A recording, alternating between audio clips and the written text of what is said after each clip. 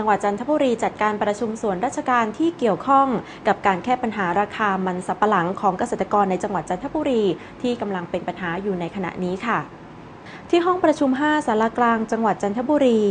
นายวิชิตชาติภัยศิษฐ์ผู้ว่าราชการจังหวัดจันทบุรี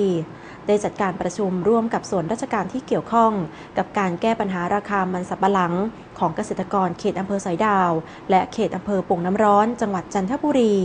ที่กำลังประสบปัญหาทางด้านราคาอยู่ในขณะนี้โดยมีส่วนราชการตัวแทนจากพื้นที่ที่เกษตรกรได้รับความเดือดร้อน กรมการค้าภายใน ส่วนของด่านศุลกากรที่ดูแลการขนส่งนำเข้ามันสับปะหลัง ผลผลิตทางการเกษตรของเกษตรกรในอำเภอ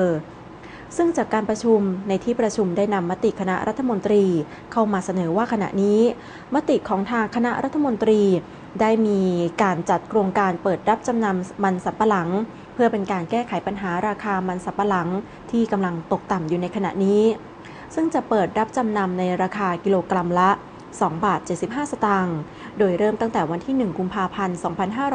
2555 ถึงวันที่ 31 พฤษภาคม 2555 และจะมีการขยับขึ้นราคาแบบขั้นบันได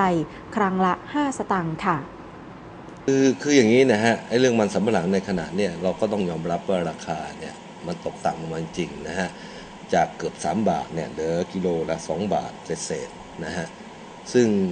เราก็ได้รับแจ้งกับท่านในอำเภอนะครับ ว่าเกษตรกรของเราเนี่ยที่ปลูกเนี่ยก็ได้รับผลกระทบ ก็มีข้อเรียกร้องมา 2 ข้อด้วยกันนะครับ ก็คือว่าขอให้รัฐเปิดโครงการรับจำนำ นะฮะปลูกมันสำปะหลังนะครับกับอีกอันหนึ่งก็คือว่าให้ชะลอนะครับการนำเข้าจากประเทศกัมพูชานะครับ ผมก็ได้เรียกประชุมหัวหน้าส่วนราชการ แล้วก็ผู้ประกอบกิจการนะฮะในเรื่องของการค้าชายแดนเนี่ยเข้ามาคุยนะฮะก็ได้วางมาตรการลงไปแล้วนะฮะในการที่จะดูแลเกษตรกรโดยเฉพาะรายย่อยในพื้นที่นะฮะว่าหนึ่งเนี่ยให้ทางนู้นชะลอตามที่เขาว่านะครับจากที่เราเคยเข้าวันละ3 4พันตันเนี่ยนะฮะ ก็ให้เหลือประมาณสักพันกว่าตันนะครับ เพื่อที่จะไม่ให้หัวมันเนี่ยมันล้น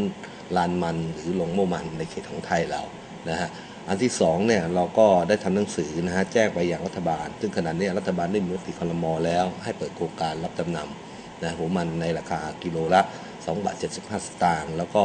เป็นลักษณะของขั้นบันไดนะฮะเริ่มตั้งแต่วันที่ 1 กุมภาจนถึง31พฤษภาคมนะครับเดือนละ 5 สตางค์นะฮะก็เทียบแล้วก็คือเกือบ 3 บาท นะครับในในในสุดท้ายของของของของโครงการ